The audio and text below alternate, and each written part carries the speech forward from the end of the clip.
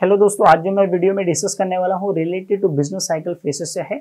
इसके पहले ऑलरेडी एक वीडियो बनाया जहाँ पे मैंने बिज़नेस साइकिल क्या होता है एंड उसके फीचर्स के बारे में डिस्कस किया है। सो so, अगर आपने वो वीडियो नहीं देखा है तो आप देख लीजिए। वीडियो का लिंक डिस्क्रिप्शन में डाल दूँगा आई बटन में ऐड करूँगा। सो so, आप अगर वो वीडियो देख लेते हो तो इसको समझने के लिए आपको काफ़ी ईजी होगा। सो so, आप पहले वो वीडियो देख लीजिए फिर उसके बाद ये वीडियो देखिए। एंड अगर आपको इस टॉपिक का नोट्स चाहिए तो लिंक डिस्क्रिप्शन में डाल दूँगा तो आप देख लीजिएगा मेरे वेबसाइट पे जो आपको पढ़ने में काफ़ी आसानी होगा। ठीक है? समझने के लिए भी। सो बिज़नेस साइकिल क्या होता है? देखो बिज़नेस साइकिल मतलब होता है अप्स एंड डाउन और fluctuation in economic activities economic activities के अंदर फ्लैक्चुएशन होना अप्स एंड डाउन होना, उसी को हम क्या बोलते हैं? बिज़नेस साइकिल बोलते हैं, ठीक है? अब अगर इसको समझना है तो आप एक चीज़ पूरे, अगर आप देखोगे हर चीज़ पूरे जितना एक्सप्लेनेशन रहेगा, सब में कॉमन चीज़ रहेगा इन्वेस्टमेंट ठीक है? अभी मैं क्यों बता रहा हूँ? क्योंकि ये चीज़ समझना आपके लिए बहुत ज़रूरी है।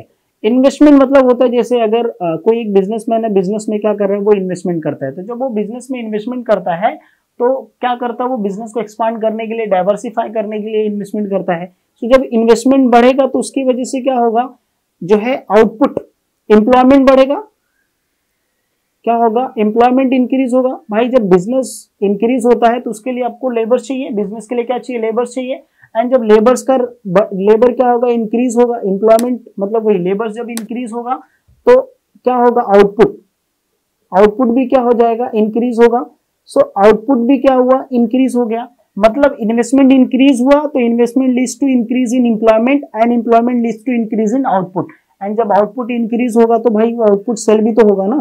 सो so, इसके वजह से लेवल ऑफ़ इनकम भी क्या हो जाएगा? इंक्रीज हो जाएगा। मतलब जो इनकम है वो भी क्या हो जाएगा? इंक्रीज हो जाएगा। अंडरस्टूड तो ये एक साइकिल है एक इकोनॉमिक एक्टिविटीज़ है कि अगर इकोनॉमिक एक्टिविटीज़ के अंदर इंक्रीज हुआ मतलब इन्वेस्टमेंट इंक्रीज हुआ इन्वेस्टमेंट बढ़ा तो इन्वेस्टमेंट बढ़ने की वजह से हमारा इंप्लॉयमेंट लेवल भी क्या हो जाएगा, देश का इकोनॉमी का वो भी इंक्रीज हो जाएगा एंड उसके वजह से आउटपुट इंक्रीज होगा और हमारे देश में इनकम भी इंक्रीज होगा।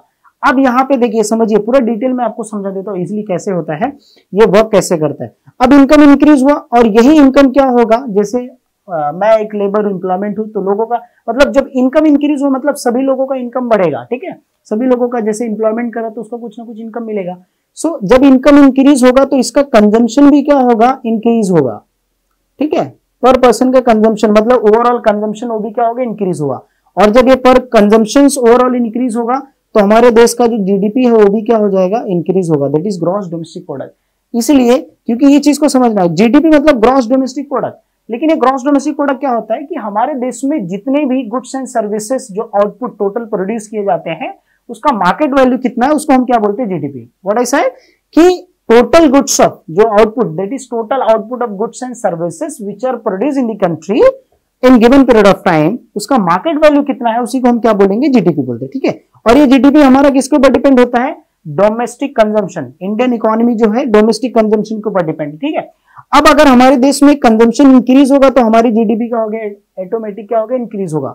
और फिर जब ये कंजम्पशन होगा, फिर वापस से वही पैसा रोटेट होकर बैंक के थ्रू क्या होगा? वापस से वो इन्वेस्टमेंट होगा। और एक साइकिल है, क्या होता है? ये चलता रहता है, ठीक है? अब ये चीज़ समझ गया। तो इसी चीज़ को हम क्या बोलते हैं? बिज़नेस साइकिल बोलते हैं। बिज़नेस साइकिल मतलब होता है अप्स एंड डाउन और fluctuation in the economic activities investment employment output income consumption GDP ये जब चेंज होता है, इसी चीज़ को हम क्या बोलते हैं? एक साइकिल बोलते हैं। और ये क्या होता है? एक टाइम बिंग के हिसाब से क्या होता है? टाइम के हिसाब से कम ज़्यादा होते रहता है, ठीक है? और लेकिन इसका कोई फिक्स पीरियड नहीं होता है, इतने टाइम के बाद होगा। तो आपको समझ में आ गया, ये है बिज़नेस साइकिल ये है इकोनॉमिक एक्टिविटीज़ रिलेटेड ठीक है? अब हमको क्या करना है? इसको एक्सप्लेन करना है फेसेस के बारे में। मतलब इकोनॉमी में डिफरेंट फेसेस है। एक फेसेस होता है भाई, जैसे थ्रोफ है। मतलब ये समझिए, यहाँ पे जो है बहुत लेवल तक डाउनफॉल हो गया है। ये investment employment output income GDP सब क्या हो गया? डिक्रीज हो गया, ठीक है? उसके बाद अगर ये पॉइंट हम बाद में डिस्कस कर लेंगे, पहले हम प्रॉस्पेरिटी के बारे में डिस्कस करते हैं। प्रॉस्पेरिटी एक ऐसा पीरियड होता है, एक ऐसा टाइम होता है, जहाँ पे ये सारी इकोनॉमिक एक्टिविटीज़ के अंदर क्या होना इंक्रीज होना, उसी को हम क्या बोलते हैं प्रॉस्पेरिटी प्रॉस्पेरिटी ऐसा लेवल है जहाँ पे बिज़नेस में और इकोनॉमी में क्या होता है? इकोनॉमिक एक्टिविटीज़ के अंदर इंक्रीज होना। मतलब देखो, यहाँ पे मैंने लिखा है प्रॉस्पेरिटी का ऐसा पीरियड होता है जहाँ पे इंक्रीज होता है। क्या इंक्रीज होता है? Output as I said output बढ़ेगा तो इंप्लॉयमेंट ऑटोमेटिकली इंक्रीज होगा और इंप्लॉयमेंट बढ़ेगा तो इनकम भी क्या होगा? इंक्रीज होगा। और जब इनकम इंक्रीज होगा तो हमारे देश का कंजम्पशन भी इंक्रीज होगा। कंजम्पशन इंक्रीज होगा तो यहाँ पे प्राइजेस भी लेवल वो भी क्या होते हैं? इंक्रीज होते हैं। इससे क्या होती है? हमारी इकोनॉमी का जो है वो ग्रोथ होता है। हमारा कंट्री का जीडीपी भी क्या होता है? इंक्रीज होता है। तो ये एक ऐसा लेवल है जहाँ पे क्या करता है? इकोनॉमी का एक अच्छा पीरियड बोल सकते हैं। गुड ट्रेड एज पर दी थेरी और एज पर दी डेफिनेशन कि ये पीरियड प्रोस्पेरिटी एक गुड ट्रेड होता है, जहाँ पे जो है सारे इकोनॉमिक एक्टिविटीज़ क्या होती है? इंक्रीज होती है, ठीक है? यहाँ पे मैंने ये भी लिखा, जैसे मनी सप्लाई का भी इंक्रीज हो जाना, जो इकोनॉमी में ट्रांजेक्शन होता है, वो भी इंक्रीज हो जाना बैंक क्रेडिट जो है, वो भी क्या होता है? इंक्रीज हो जाता है। बैंक क्रेडिट इंक्रीज होना मतलब ट्रांजेक्शन ज़्यादा होना ट्रांजेक्शन जब बड़े होंगे सो इन्वेस्टमेंट भी क्या होता है इंक्रीज होना। सो so, ये चीज़ें क्या होती है प्रोस्पेरिटी में होती। है understood what is prosperity prosperity एक ऐसा पीरियड है जहाँ पे इकोनॉमिक एक्टिविटीज़ के जो होते हैं वो क्या होता है इंक्रीज होता है। That means increase in output investment income level ये सारी चीज़ें क्या होती है prosperity understood what is prosperity समझ में आगे पूरा क्या है प्रोस्पेरिटी अभी प्रोस्पेरिटी होने के बाद क्या होता है पीक पीक पे पहुँचता है। अब ये पीक पे पहुँचना मतलब ये होता है कि यहाँ पे इकोनॉमिक एक्टिविटीज़ जो है आउटपुट लेवल एकदम हाई पे हो, उससे ज़्यादा वो प्रोड्यूस नहीं कर सकता। मतलब जितना भी हमने पूरा यूज़ किया है इन्वेस्टमेंट और सारी चीज़ें एम्प्लॉयमेंट सभी लोग एम्प्लॉयड है, ठीक है? इन्वेस्टमेंट भी बहुत ज़्यादा है। उस लेवल पे जो प्रोडक्शन होगा, वो सबसे ज़्यादा होगा। और ये प्रॉस्पेरिटी लेकिन उसके बाद वो पीक पे पहुँच जाएगा। लेकिन उससे ज़्यादा अगर हमको प्रोड्यूस करना तो पॉसिबल नहीं है। तो वहाँ से क्या होता है? वापस से ये एक ऐसा पीक पीरियड है जहाँ पे एक डिनोट करता है कि वहाँ से सारी चीज़ें क्या होगी? डाउनफॉल होगी मतलब धीरे धीरे कम होगी। एंड जैसे कम होता है, उसी पीरियड को हम क्या बोलते हैं? रिसेशन बोलते हैं। रिसेशन एक ऐसा पीरियड है जहाँ पे इसका अपोजिट समझिए कि डाउनफॉल होना, किसके अंदर? इकोनॉमिक एक्टिविटीज़ के अंदर, जैसा आउटपुट कम होना इन्वेस्टमेंट कम होना अनएम्प्लॉयमेंट लेवल धीरे धीरे क्या होना, बढ़ना इंक्रीज होना। सो ये रिसेशन एक पीरियड होता है। समझे? इसका क्या है? अपोजिट है। समझ में आ गया? व्हाट इज़ रिसेशन रिसेशन एक ऐसा पीरियड है जहाँ पे जो ग्रोथ रेट है वो क्या? धीरे धीरे क्या हो रहा है? स्लोली कम होते जा रहा है। मतलब जो है इकोनॉमिक एक्टिविटीज़ कम हो रहा है धीरे धीरे इंप्लॉयमेंट कम हो रहा है इन्वेस्टमेंट कम हो रहा है बैंक क्रेडिट वो भी क्या हो रहा है, कम हो रहा है। ट्रांजेक्शन जो है वो भी क्या हो रहा है धीरे धीरे कम हो रहा है, ठीक है? सो ये लेवल पे क्या आ जाता है कि ये लेवल पे एक्सपांशन रहता है। हमने इंट्रोडक्शन में डिस्कस किया था। एक्सपांशन मतलब गुड ट्रेड होता है। लेकिन यहाँ पे धीरे धीरे क्या होता है, ये वाला जो पॉइंट है, यहाँ पे धीरे धीरे क्या ले लेता है contraction that mean downfall okay so ये था रिसेशन उसके बाद रिसेशन के बाद क्या आता है? डिप्रेशन आता है। यहाँ पे देख लो स्लोली क्या हो रहे थे? डाउनफॉल हो रहा था इकोनॉमिक एक्टिविटीज़ में और डिप्रेशन में क्या होता है? पूरी तरीके से क्या होता है? डाउनफॉल होता है in all the economic activities ठीक है? So that is called as depression okay depression एक ऐसा पीरियड हो जहाँ पे प्राइजेस के जो वैल्यू है वो भी फॉलो हो जाती है इन्वेस्टमेंट कम हो जाता है आउटपुट कम हो जाता है। ये इकोनॉमी का एक साइकिल है जहाँ पे क्या होता है? पूरा जो कॉस्ट के अंदर अगर देखोगे फैक्टर प्राइसिंग मतलब जो लेबर्स के जो वेजेस है जो इंटरेस्ट रेट है, वो सारी चीज़ों के अंदर क्या होना? डाउनफॉल होना।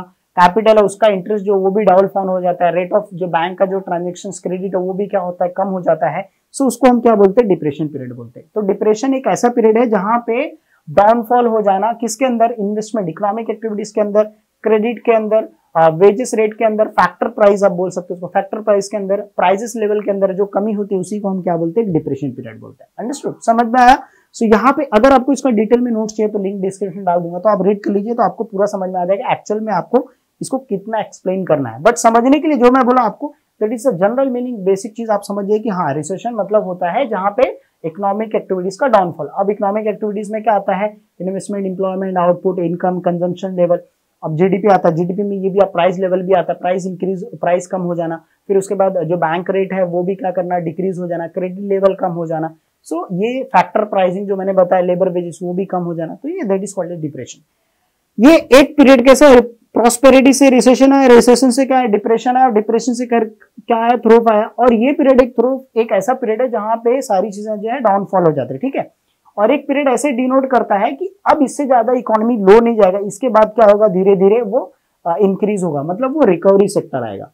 तो रिकवरी सेक्टर्स में क्या होता है कि एक पॉजिटिव साइन होता है इकोनॉमी में, जहाँ पे जो इन्वेस्टमेंट क्या होता है धीरे धीरे इंक्रीज होता है। इन्वेस्टमेंट जब इंक्रीज होता है मतलब बैंक का जो इन्वेस्टमेंट है जो क्रेडिट है ट्रांजेक्शन वो भी इंक्रीज होता है और उसी के तरह धीरे धीरे क्या होता है, वो कॉस्ट इंक्रीज नहीं होता है। यहाँ पे प्राइसेस ऑलरेडी रहा कॉस्ट नहीं इंक्रीज होता है। प्रोडक्शन जो कैपेसिटी है, वो भी क्या होता है धीरे धीरे क्योंकि बढ़ जाती है कैपेसिटी तो वहाँ से धीरे धीरे क्या होता है इंक्रीज होता है कैपेसिटी मार्जिन कैपिटल एफिशिएंसी वो भी क्या होता है धीरे धीरे इंक्रीज होता है। सो ये जो है प्रॉस्पेरिटी मतलब ये रिकवरी सेक्टर्स है। वापस से फिर, जब एक रिकवरी सेक्टर्स क्या होता है, एक धीरे धीरे धीरे एक क्या करता है इकोनॉमी में एक जो है इंक्रीज होता है, एक लेवल ले लेता है और ये लेवल के बाद फिर क्या होता है, वापस वो प्रॉस्पेरिटी आ जाता है। फिर वापस प्रॉस्पेरिटी आने के बाद फिर पीक पे जाएगा, फिर डाउनफॉल होगा। तो ये एक साइकिल है। क्या है? एक साइकिल है जो इंक्रीज डिक्रीज होता है। ये पीरियड को हम एक्सपांशन बोलेंगे, इसको कॉन्ट्रेक्शन बोलते हैं। मतलब एक्सपांशन जब इकोनॉमिक एक्टिविटीज़ एकदम बूम एकदम हाई पे लेवल पे जाना इंक्रीज होने पिक लेवल पे जाना कॉन्ट्रेक्शन में क्या होता है? डाउनफॉल होता है, जहाँ पे एक थ्रोप एक लेवल पे जाना, जहाँ पे पूरी इकोनॉमिक डाउनफॉल होती है। फिर वापस से रिकवरी लेता है। तो ये जो फोर्थ वाला पॉइंट है इट इज़ रिकवरी तो रिकवरी सेक्टर्स में क्या करना? ये इंक्रीज होना धीरे धीरे क्या करना? जो इकोनॉमिक रिकवर करती है इन्वेस्टमेंट आउटपुट धीरे धीरे इंक्रीज कंजम्पन लेवल इंक्रीज करती है। अगर आप जो है, जैसे अभी अगर करंट सिचुएशन के हिसाब से देखेंगे तो जो सिचुएशन इकोनॉमी सभी पूरे वर्ल्ड की इकोनॉमी में जो है, वो धीरे धीरे क्या कर रही है? रिसेशन में जा रही है, ठीक है? रिसेशन आ चुका मतलब समझिए। धीरे धीरे फिर रिसेशन डिप्रेशन से लेगा, फिर एक ऐसा यहाँ पे एक साल तक ये लेवल पे फिर वापस धीरे धीरे क्या करेगी? एक से दो साल के बाद हमारी इकोनॉमी क्या करेगी? वापस रिकवरी लेगी। एंड फिर आने वाले कुछ सालों में फिर हमारा वापस से क्या हो जाएगा? इंप्लॉयमेंट लेवल वो सारी चीज़ें इंक्रीज हो जाएगी जीडीपी सो आई होप कि आपको पूरा अच्छे समझ में आ गया रहेगा कि बिज़नेस साइकिल का फेसेस क्या होता है। एंड अगर आपको कुछ भी मतलब डाउट है इसके इस टॉपिक के अंदर तो आप कमेंट करो। वापस से मैं क्या करूँगा उस टॉपिक के बारे में डिस्कस कर लूँगा। सो so, मैंने चार फेसेस के बारे में डिस्कस किया। कौन सा? Prosperity recession depression and recovery ये चार जो है फेसेस होते हैं। और ये थ्रोफ होता है मतलब जहाँ पे इकोनॉमिक एक्टिविटी डाउन होती है। यहाँ ये पीक पे मतलब यहाँ पे इकोनॉमी एक जीडीपी एकदम हाई लेवल पे होता है। इन्वेस्टमेंट एकदम हाई लेवल पे आउटपुट जो है वो भी इंक्रीज होता है। अगर आपको इकोनॉमिक लैंग्वेज में इस चीज़ को समझाओ मतलब सभी लोगों को एम्प्लॉयड कर दिया, अगर जितने लेबर थे सबको काम पे लगा दिया, जितना इन्वेस्टमेंट था सब डाल दिया, वो लेवल पे जितना आउटपुट होगा, उतना ही क्या होगा मैक्सिमम होगा। उससे ज़्यादा हम प्रोड्यूस नहीं कर सकते। उसके बाद क्या होगा अगर हम उसको ज़्यादा यूज़ करेंगे तो धीरे धीरे डाउनफॉल होता है। जैसे आपने पढ़ा रहेगा रिटर्न टू स्केल करके होता है इकोनॉमिक में एक लॉ है। सो so, उस तरीके से क्या होता है डाउनफॉल होता है। तो आई होप कि आपको सारी चीज़ें डिटेल में समझ में आ गई रहेगी। आपको कुछ भी सजेशन है आप मुझे कमेंट सेक्शन में बता सकते हैं या इंस्टाग्राम पे मुझे फॉलो कर सकते हैं वहाँ पे आप अपने सजेशन दे सकते हैं। एंड पूरा वीडियो देखने के लिए thank you so much guys watching